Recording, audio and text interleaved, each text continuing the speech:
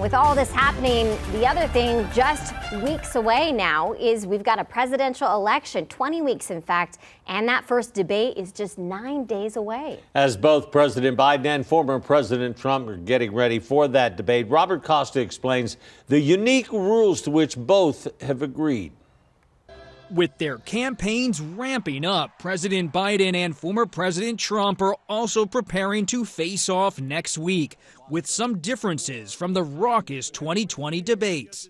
The Radical question, left. Will you Who shut is up, your, man? listen, who Sources tell us when one candidate is speaking, the other's microphone will be muted at the CNN hosted event.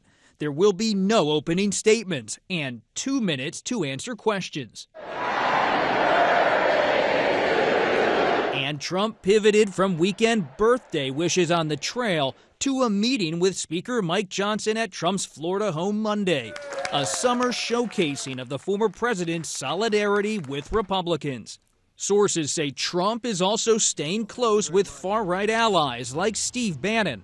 Speaking at a conservative convention in Detroit on Saturday, Bannon echoed Trump in vowing retribution against those who investigated the former president and his political allies. We're going to run them all out of town. It's very simple. Victory or death. Despite intense support from Trump's base, weeks after his criminal conviction, Trump is locked in a tight race with President Biden, especially in key battleground states. Biden advisors privately say putting Trump's conduct and American democracy front and center is a necessary strategy.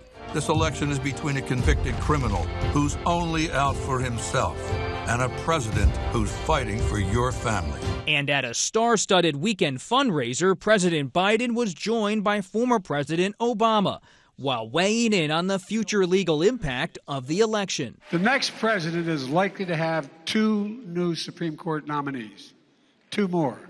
Sources tell me President Biden will prep for the debate later this week at Camp David, and Trump's allies tell me his prep is more informal. They say he's also moving closer to a decision on a running mate, with North Dakota Governor Doug Burgum, among others, generating momentum behind the scenes. Robert Costa, CBS News, Washington. It is